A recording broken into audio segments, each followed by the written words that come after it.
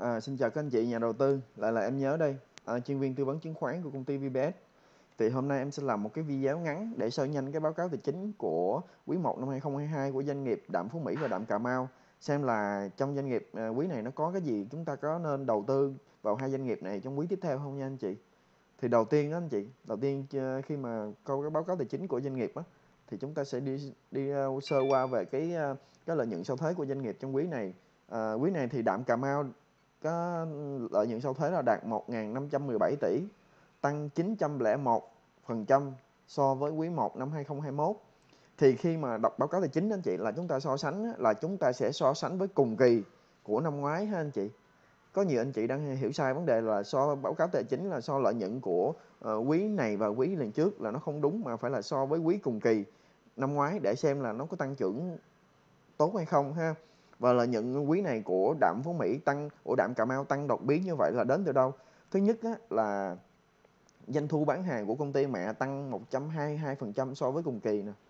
Và cái thứ hai là giá bán bình quân mặt hàng phân bón ure thương mại quý 1 năm 2022 tăng hơn 148% so với cùng kỳ của năm 2021 thì đây chính là hai cái nguyên nhân chính để dẫn đến là à, đạm Cà Mau có cái siêu cái lợi nhuận như vậy. Và tương tự cũng đạm Phú Mỹ cũng như vậy nha anh chị. Hai hai hai ngành này là là tương tự nhau ha. Thì à, chúng ta đi qua về cái bảng cân đối kế toán. Đầu tiên là về cái tài sản ngắn hạn á, của đạm Cà Mau á. Thì chúng ta để ý là cái phần thứ nhất là liên quan đến phần đầu tư tài chính ngắn hạn nè. Là công doanh nghiệp này họ đang gửi ngân hàng là 5.562 tỷ à, đầu tháng 1 họ gửi 4.362 tỷ thì à, đến à, 31 tháng 3 là họ gửi 5.562 tỷ. À, mình nhìn vô đâu để mình biết là đầu tư tài chính ngắn hạn này họ làm gì anh chị? Thông thường các doanh nghiệp mà niêm yết trên sàn chứng khoán á, trong cái phần đầu tư tài chính ngắn hạn á, một á, là họ gửi ngân hàng hai là họ mua họ đầu tư cổ phiếu họ mua lướt cổ phiếu. Thì để chúng ta biết được là um, doanh nghiệp này họ đầu tư tài chính ngắn hạn về cái gì một gì một gì á, thì chúng ta coi cái mục thuyết minh ở V V.02 nè anh chị trong cái báo cáo tài chính á thì anh chị có thể nhìn xuống dưới trang dưới nè họ đầu tư tài chính ngắn hạn nè họ tiền gửi có kỳ hạn trên 3 tháng nè V.02 nè nó là 5 5 tỷ 5.562 tỷ. Đó ha là anh chị con này anh chị sẽ biết à doanh nghiệp này có tiền có lượng tiền mặt rất là khủng khiếp ha họ gửi ngân hàng tiền mặt rất là khủng khiếp họ gửi ngân hàng 5.562 tỷ. Đó ha. Rồi trong cái phần à, uh, à, khoản cái khoản phải thu ngắn hạn á trong cái khoản phải thu ngắn hạn có cái phần mà uh, giá trị khá lớn là 579 tỷ nè trả trước cho người bán ngắn hạn nè. Thì anh chị coi cái cái mục này là là của đơn vị nào để mình biết là à cái mục này nó có ảnh hưởng nhiều tới báo cáo tài chính doanh nghiệp không? Thì trong này nó có cái phần 500 uh, 579 tỷ là trong đó là có cái công ty DC World nè. DC World nè là 420 tỷ ha và một số doanh nghiệp nhỏ nhỏ khác thì tổng lại là 579 tỷ. Đó là cái phần phải thu ngắn hạn. Thì uh, giá trị này nó cũng không lớn so so với uh, số tiền mà doanh nghiệp hiện có ha. Đó thì mình sẽ coi mình để mình biết là cái cái cái doanh nghiệp này về tài chính nó có lành mạnh không nó có vướng vấn đề gì không. Tiếp theo chúng ta sẽ à, đi đến là cái phần tiếp theo đó là cái phần hàng tồn kho nè. Hiện tại hàng tồn kho quý trước của doanh nghiệp là 2.204 tỷ và đến quý này còn lại là 2061 tỷ thôi. Tức là hàng tồn kho nó giảm đâu đó là 200 tỷ ha. Và hàng tồn kho này là nó bao gồm những gì? Thì chúng ta đi xuống cái mục à, à, V.06 này anh chị. V.06 để chúng ta coi là hàng tồn kho nó là những cái gì? Hàng tồn kho nè là nó có nguyên liệu vật liệu là 594 tỷ nè. Thành phẩm 727 tỷ. Hàng hóa 609 tỷ. Thì đa số là hàng tồn kho là nó liên quan tới hàng hóa và thành phẩm ha còn lại là công cụ dụng cụ này nọ mình không tính nhưng mà chủ yếu là liên quan tới hàng hóa thành phẩm. Thì cái hàng tồn kho này nó có ý nghĩa gì anh chị? Nó có ý nghĩa là giả sử như hàng tồn kho mình nhiều mà à, cái đầu vào đầu vào chẳng hạn như hàng tồn kho nhiều đầu đầu vào của nguyên vật liệu nó nó nó tăng giá bán nó tăng thì doanh nghiệp sẽ được hưởng lợi hưởng lợi tại cái mình hàng tồn kho hàng tồn kho đang vùng giá giá đầu vào nó thấp nhưng bây giờ nó tăng lên và giá nguyên vật liệu đầu vào nó tăng lên giá bán nó tăng ra thì hàng tồn kho còn nhiều nó sẽ hưởng lợi ha anh chị? Nó sẽ nó sẽ hưởng lợi về về giá sau khi mà giá thị trường nó tăng ha. Đó, thì hiện tại giờ đối với ờ, đối với ờ, đạm Cà Mau hàng tồn kho là 2061 tỷ cũng khá là ok ha. Thì chẳng hạn như quý đầu quý là 2204 tỷ mà nó lợi nhuận là 1517 tỷ thì quý này nó, hàng tồn kho nó 2061 tỷ thì lợi nhuận nó cũng cũng gần gần quý trước chứ nó cũng không phải là nó sẽ giảm đâu nha anh chị. Nên đây cũng là một mặt khá là tích cực đối với uh, cổ phiếu đạm cà mau ha. Thì anh chị uh, uh, mình sẽ đọc qua cái phần hàng tồn kho sau đó là đến cái phần uh, tài sản ngắn hạn. Thì tài sản ngắn hạn thì là 162 tỷ. Đó uh, sau đó là tài sản dài hạn. Thì đây là những con số mà mình sẽ coi để mình biết là uh, doanh nghiệp này cái tài sản họ ổn không ha? Tiếp theo là tài sản à, cố định nè. Mình qua cái phần quan trọng là tài sản cố định như nè anh chị? Tài sản cố định này là gì? Là cái à, các nhà máy sản xuất các thiết bị sản xuất. Thì tài sản cố định này nó sẽ được khấu hao hàng năm. Hiện tại giờ chẳng hạn như là đầu quý là nó là 3.405 tỷ hiện tại giờ nó còn 3.068 tỷ. Tức là nó khấu hao là khoảng 400 tỷ rồi ha. Khoảng 400 tỷ. 400 tỷ thì cái phần khấu hao này á, à, anh chị để ý là Ờ, đối với con đạm Cà Mau á, thì nó khoảng ờ, 2 năm nữa là nó sẽ khấu hao hết được cái cái phần tài sản ờ, cố định. Thì thì khi mà nó khấu hao như vậy thì doanh nghiệp cái cái cái gọi là cái giá vốn doanh nghiệp nó sẽ giảm xuống. Tại vì nó sẽ được khấu hao hết rồi thì giá vốn nó sẽ giảm xuống và giá bán nó tăng thì cái lợi nhuận nó cũng sẽ tăng ha. Thì nó sắp tới nó sẽ có những cái lợi nhuận đột biến là nó liên quan tới cái phần mà khấu hao tài sản cố định nè đó, mình coi để mình biết là sắp tới là doanh nghiệp nó sẽ khấu hao được tài sản cố định và giá nó nó sẽ ờ, lợi nhuận nó sẽ tăng lên đột biến ha. Và ở đây doanh nghiệp đang có một cái tài sản dở dang dài hạn, đó là cái chi phí xây dựng dở dang nè. Mình xem coi là cái chi phí này nó đang làm cái gì, nó có xây thêm nhà máy hay là nó có có mở rộng sản xuất, quy mô sản xuất không thì chúng ta coi ở cái mục là V.09 ha V.09 nè. Thì tài sản dở dang nè anh chị, là nó có, nó đang làm gì? Nó đang tối ưu hóa cái hệ thống thiết bị chuyển hóa CO nhiệt độ thấp LTS ha là nó khoảng 9 ngàn ờ, uh, 9 tỷ 340 triệu. Thứ hai là nó làm cái nhà máy sản xuất phân bón phức hợp từ ure nóng chảy 13 tỷ. Và cuối cùng là cái hệ thống tách CO2 55 tỷ. Đó thì tổng cộng nó nó rơi vào khoảng 82 82 82 tỷ ha. Thì cái ờ, có nghĩa là doanh nghiệp này nó cũng không có xây thêm nhà máy gì nhiều ha.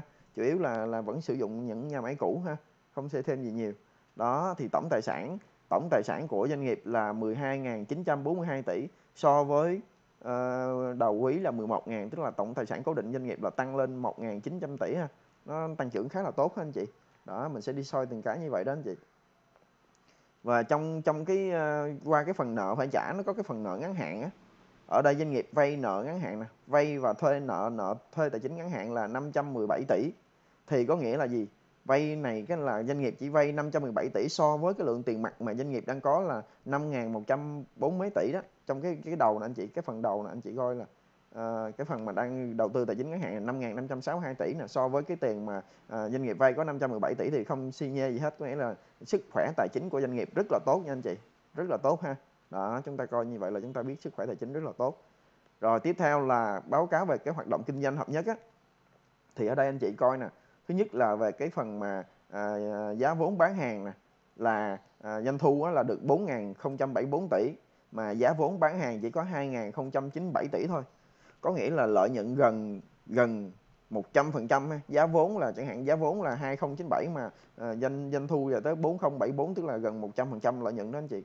Lợi nhuận gộp nè gần 100% luôn 1.997 tỷ. Quá khủng khiếp ha anh chị ha.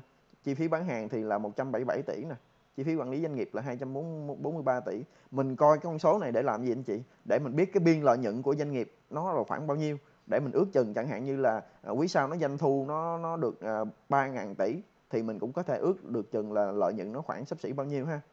Đó, lợi nhuận sau thuế là 1.517 tỷ nè. Quá khủng khiếp ha anh chị. Đó, và cái danh danh số mà bán hàng của đạm cà mau từ đâu? Thứ nhất là anh chị nhìn nè, nó đến từ doanh thu bán ure là chính ha ure là chính 3.769 tỷ trong đó bán trong nước là 1.574 tỷ và xuất khẩu là 2.195 tỷ. Có nghĩa là cái lượng nó ừ, đạm cà mau này nó chuyên về xuất khẩu nhiều ha anh chị?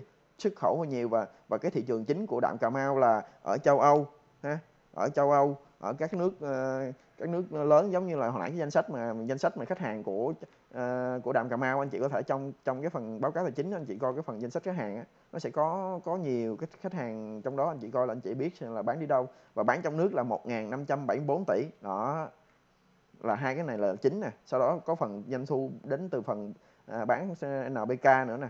Rồi bán hàng phân bón và bao bì nè và phế phẩm nè. Tổng doanh thu là 4.282 tỷ. Đó ha anh chị coi phần này để anh chị biết là doanh nghiệp này nó đang đang ờ, cái cái lợi nhuận của họ có phải là đến từ cái co của doanh nghiệp hay không? Có phải đến là từ cái cái cái, ờ, cái phần kinh doanh cốt lõi của doanh nghiệp hay không? Hay là đến từ kinh doanh tài chính? Thì ở đây nó là đến từ cốt lõi ha. Chủ yếu là doanh thu đến từ cốt lõi nên doanh nghiệp này nó sẽ tăng trưởng khá là bền vững ha. Tăng trưởng khá là bền vững. Đó 4.282 tỷ nè. Còn cái cái hoạt động tài chính của họ là gì? Họ chỉ gửi ngân ừ, doanh thu được từ tiền lãi gửi ngân hàng nè năm ngàn mấy tỷ đó, là lãi 43 tỷ nè. Đó. Anh chị coi trong này sẽ biết giá vốn bán hàng là bao nhiêu nè, đó anh chị, ha. Chúng ta sẽ soi vào đây chúng ta biết à doanh nghiệp này nó khá là tốt, khá là tốt đó. Rồi còn cái phần liên quan tới mà báo cáo lưu chuyển tiền tệ anh chị, thì mình tập trung mình coi là cái dòng tiền nó có dư hay không. Thường trong báo cáo lưu chuyển tiền tệ này, anh chị chú ý cho em là cái dòng tiền này nó có tăng trưởng đều không? Nó, khi mà nó dư mà nó tăng trưởng nó đều có nghĩa là doanh nghiệp dùng tiền là để quay vòng vốn để làm ăn tốt đó thì ờ, cái dòng tiền đấy nó nó dương và nó nó nó tăng trưởng liên tục là doanh nghiệp này rất là tốt tức là biết cách sử dụng dòng tiền để làm ăn ha anh chị? Đó là người ta gọi là báo cáo lương chuyển tiền tệ đó là chỉ số này khá là đẹp nha. Đó thì à, à, ngoài ra là là đối với đạm cà mau á thì hiện tại bây giờ à, sắp tới á, là cái cái phần mà liên quan tới phần ure á anh chị. Phần ure thì hiện tại ở giá ure trên thị trường cũng đang là là khá là tích cực. Tức là nó vẫn là nằm trên vùng đỉnh á để mình mở cho anh chị coi cái cái giá giá ure hiện tại ha. Cái giá ure hiện tại rồi. mình sẽ mở cho anh chị coi cái giá ure hiện tại nè. À, nó đang là nó đang giảm nhẹ ha anh chị nó đang giảm nhẹ nè. Đang giảm nhẹ thì nó sẽ ảnh hưởng đến một giá nhưng mà nó vẫn neo ở cái vùng đỉnh này nè anh chị. Cái vùng vẫn neo ở vùng đỉnh này thì doanh nghiệp vẫn vẫn là siêu lợi nhuận ha và cái đầu vào của doanh nghiệp đó là đến từ cái phần à, giá khí mình mua của BVGas đó. Thì giá khí thiên nhiên nè nó cũng đang giảm.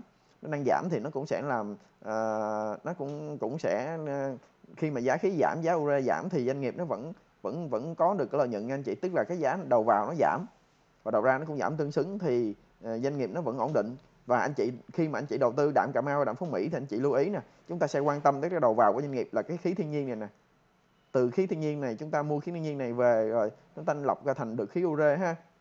Được ure và thành ure vào thành phẩm mà nó bán xuất khẩu đi. Đó, thì hiện tại giờ cái khí nó đang trong ờ, nó đang chỉnh nhẹ nè, và cái giá giá phân ure thì nó cũng đang chỉnh nhẹ ha.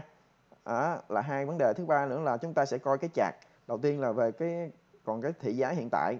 Thì giá hiện tại của của đạm Cà Mau và đạm Thú Mỹ thì nó đang tăng nhẹ nè anh chị, đang tăng nhẹ ha. Thì theo thị trường thôi, còn chúng ta coi cái chạc chúng ta coi chạc để chúng ta coi là chúng ta có nên đầu tư không?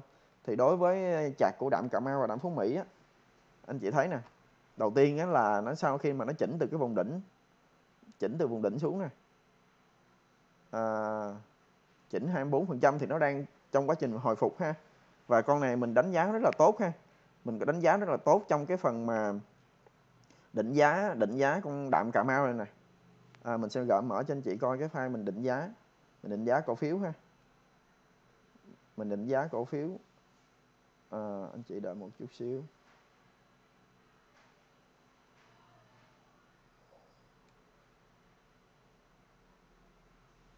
Đây mình định giá cổ phiếu thì đối với đạm Cà Mau á à, trong cái file định giá trước đây á là mình à, mình dự trù là quý 1 chỉ lợi nhuận 1.000 tỷ thôi. Mà bây giờ nó lợi nhuận tới 1.517 tỷ quý 2 mình tạm tính là 1.000 tỷ thôi.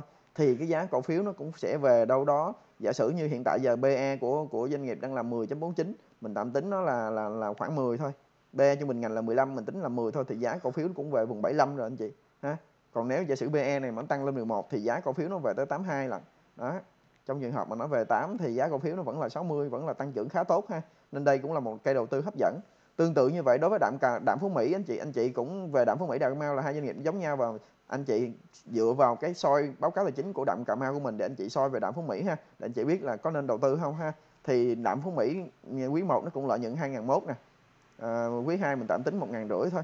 Thì à, thì thì doanh nghiệp nó cũng có thể nó về à, vùng giá là 120 đó anh chị. Nó chẳng sợ mình cho là chẳng hạn PE về 6 thì nó cũng là 90 đó.